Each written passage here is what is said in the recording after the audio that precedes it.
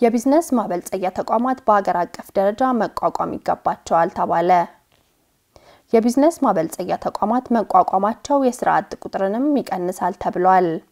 የደብረ ማርቆስ ዩኒቨርሲቲ በዩኒቨርሲቲ ውስጥ የቢዝነስ ማበልጸጊያ ማዕከል አቋቁሜ እየሰራሁ ነው ብሏል። ተጨማሪ ያለን ወጣትነት ለስራ፣ ለትግል፣ ለለውጥ ብሎም ለአዲስ ነገር ተነሳሽነት ጎልቶ የሚታይበት እድሜ እንደመሆኑ የአንዲት ሀገር እድገትም ሆነ ውድቀት በየዘመኑ ባለው ወጣት ትውልድ እንቅስቃሴ ላይ የተመረኮዘ እንደሆነ ይነገራል። ስራ ፍለጋ ከገጠር ወደ ትናንሽ ከተሞች የሚፈልሱ እንዲሁም ከመጀመሪያ ደረጃ እስከ ዩኒቨርሲቲ ሁለተኛ ዲግሪ እንዲሁም በተለያየ ደረጃ ከቴክኒክና ሙያ ተቋማት ተመርቀው የሚወጡ ወጣቶችን ማስተናገድ የሚችል የስራ እድል ባለመፈጠሩ ከተሞች የስራ አጥ ወጣቶች መናኸሪያ ስለመሆናቸው ይሰማል።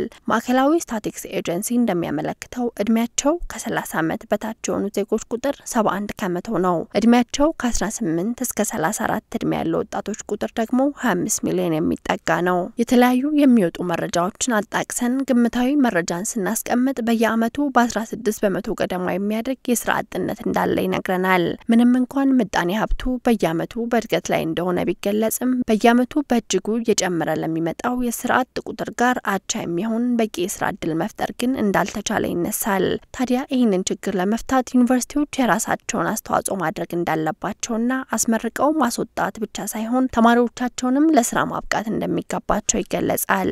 የደብረ ማርቆስ ዩኒቨርሲቲ በጉዳዩ ላይ እየሰራሁበት ነው ባይ ነው። ዩኒቨርሲቲው የስራ ሀሳብ ላላቸው ተማሪዎች የቢዝነስ ማበልጸጊያ ማዕከል አቋቁሜ እየሰራሁ ነው ብለዋል። የወጣቶችን ሀሳብ ማበልጸግ ነው።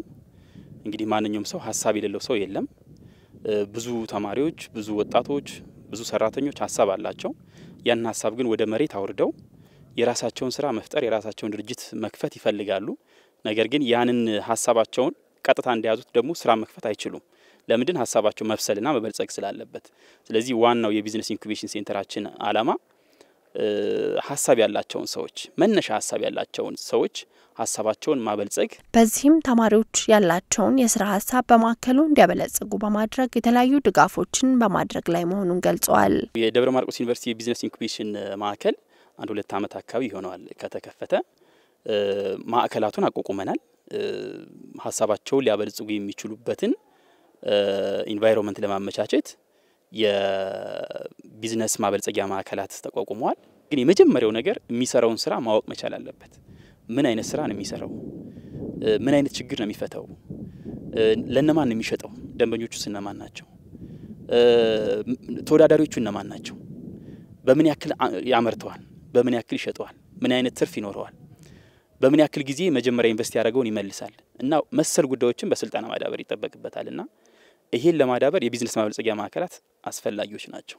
ደብረ ማርቆስ ዩኒቨርሲቲ እነዚህን መሰል የቢዝነስ ማበልጸጊያ ማዕከላት በከፍተኛ ትምህርት ተቋማት ላይ ብቻ መወሰን የለባቸውም ባይ ነው። መሰል ማዕከላት በሀገር አቀፍ ደረጃ እንዲቋቋሙ በማድረግ አሁን የሚታየውን የስራ አጥ ቁጥርን መቀነስ ስለሚቻል በዚህ ላይ በትኩረት እንዲሰራበት ዩኒቨርሲቲው ምክረ ሀሳቡን ያስቀምጣል። ሁሉም በተማረው ደግሞ ይቀጠራል ማለት አይደለም።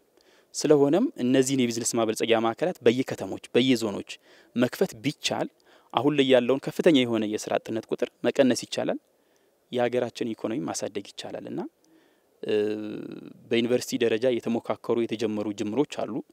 የቢዝነስ ማበልጸጊያ ማዕከላትን የኢኖቬሽን ማዕከላትን ማቋቋሙ።